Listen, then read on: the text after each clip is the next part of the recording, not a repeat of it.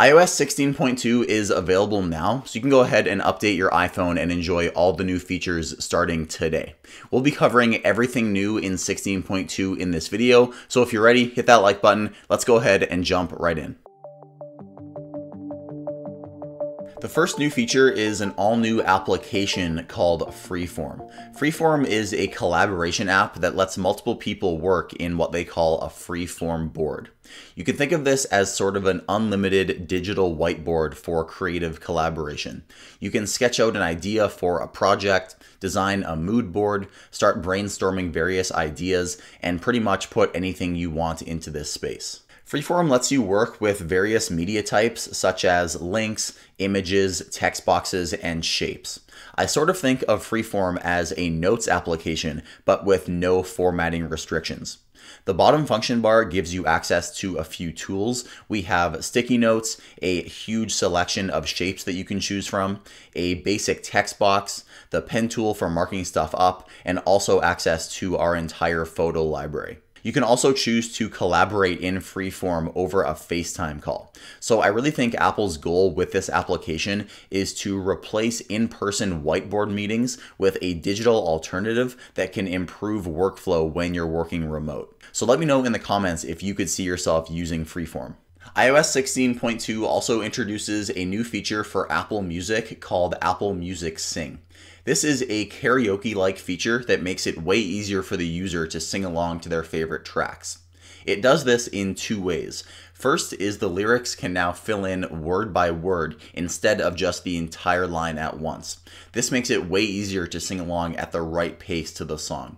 Only certain songs support this feature, so just keep in mind that not every single song in your library is going to support the word by word lyrics. The second thing it does is it gives you a slider on the right hand side that lets you adjust the vocal levels in the song. This is by far the most impressive part of this feature.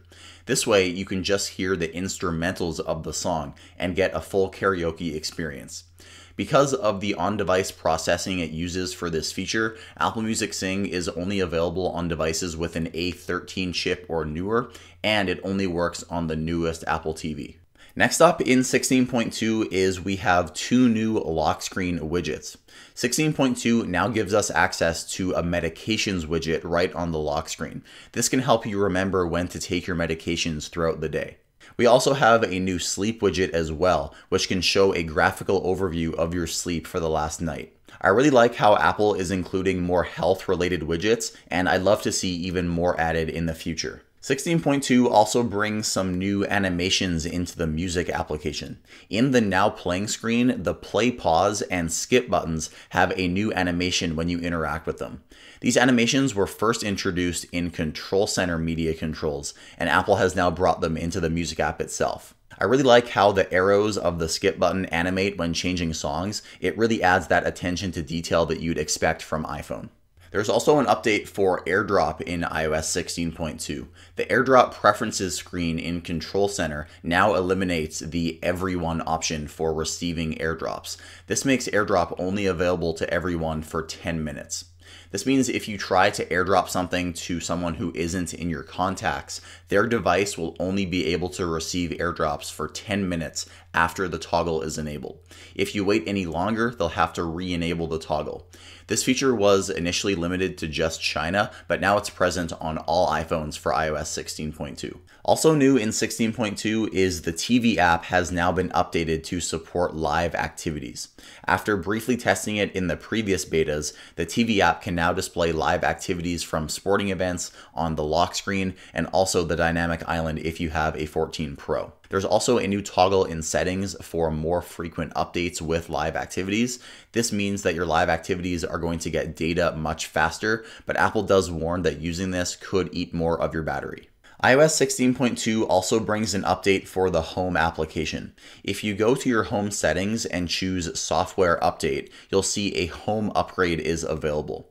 The Home app now supports new underlying architecture, which includes the new open standard called Matter. This can make your home accessories way faster and more responsive. You'll only be able to upgrade your home if your Apple TVs and or HomePods are running software version 16.2. And speaking of software updates, we also have a new feature for software updates on iPhone called Rapid Security Response.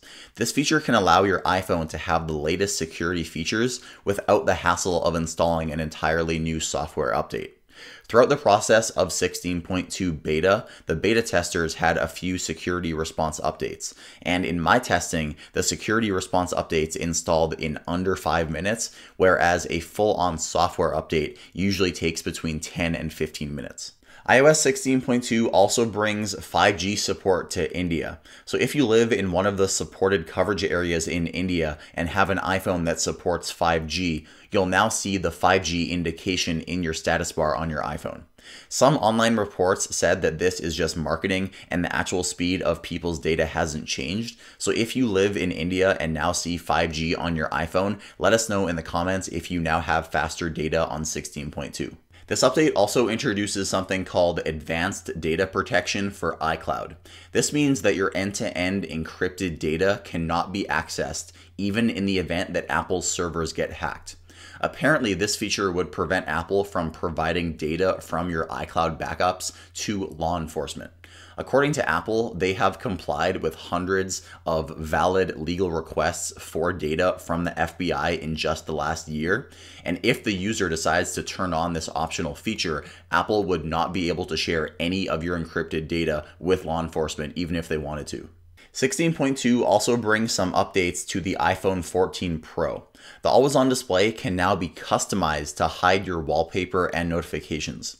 Before iOS 16.2, the always on display on iPhone 14 Pro was just a dim version of your lock screen.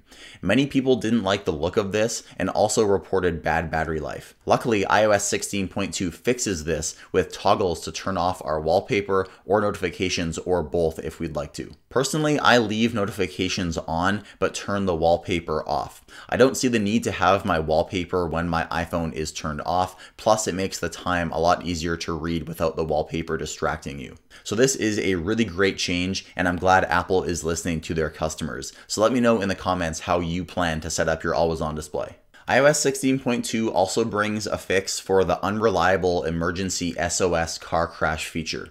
This feature is supported on iPhone 14 and 14 Pro, and before the update, it was randomly going off on people's phones, especially when on roller coasters.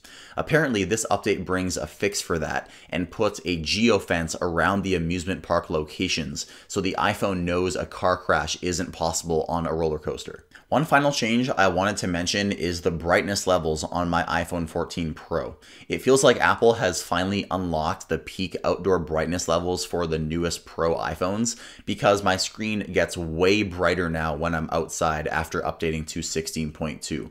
The 14 Pro can apparently reach up to 2000 nits of brightness when exposed to direct sunlight, and it seems like Apple has finally unlocked that capability on the display. After updating to iOS 16.2, I'm curious what your experience is so far, so let us know in the comments, and also let me know your thoughts on the new Freeform application. After commenting, don't forget to like the video and also subscribe if you haven't already. My name is Michael with IDB, and I'll see you next time.